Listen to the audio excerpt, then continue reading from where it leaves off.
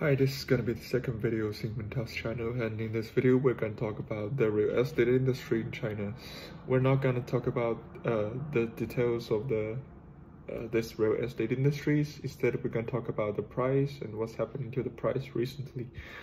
And as we all know in China, most of the working class they, they spend their entire life couldn't afford uh, to buy a house in those big cities. We're gonna talk about what's the reasons um, and uh, we're gonna talk about what's hap- what's happening to the house price recently, and we're gonna talk about like what's the impact of the declines in housing price. So let's start with our first questions, like why the house price reached such a high point in China.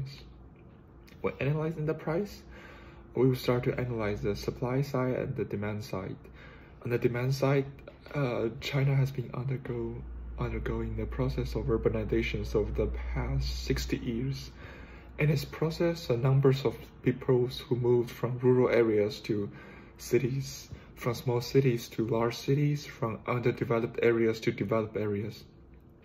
As a result of the urbanizations, the population density in those high, in, in those big cities are extremely dense and people's demand for um, for new house for residential uh, for the for the the house in those areas is extremely high. So the house price in those areas is extremely high. So this is the demand side. While on the supply side as we all know in china the government has a very strong administrative interventions over the real estate industry. Um, the government limit the annual additions of new residential land which means that um, there's only a limited numbers of new house for sale each year.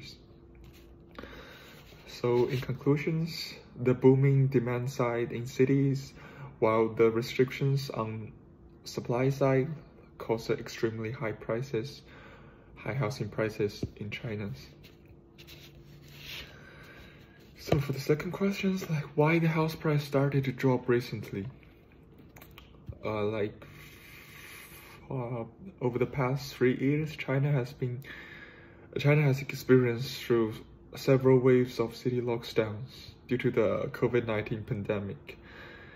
And uh, uh, due to these unforeseen city lockdowns, people have seen reduction in their salaries and some with some even facing the possibilities of unemployment.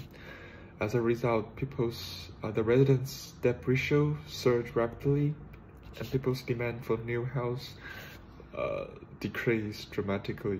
So uh, the supply side is remains the same, but the demand side dropped rapidly. The house price started to fall recently.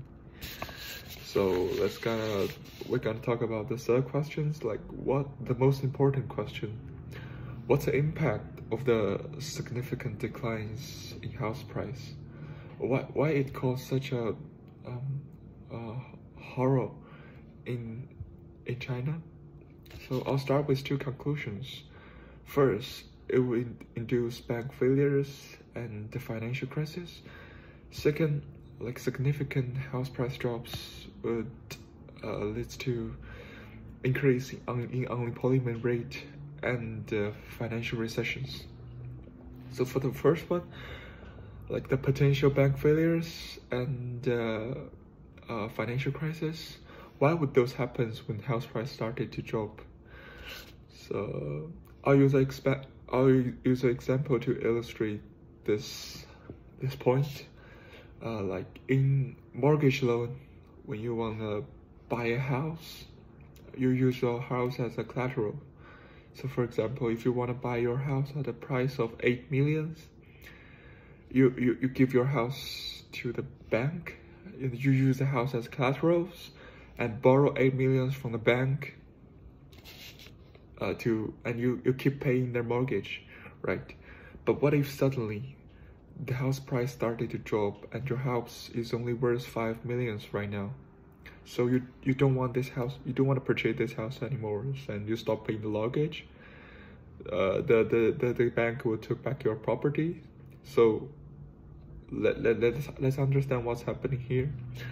The bank paid 8 millions for your properties and the bank take back your property but now the property is only worth 5 millions which means the bank lost 3 millions in your loans.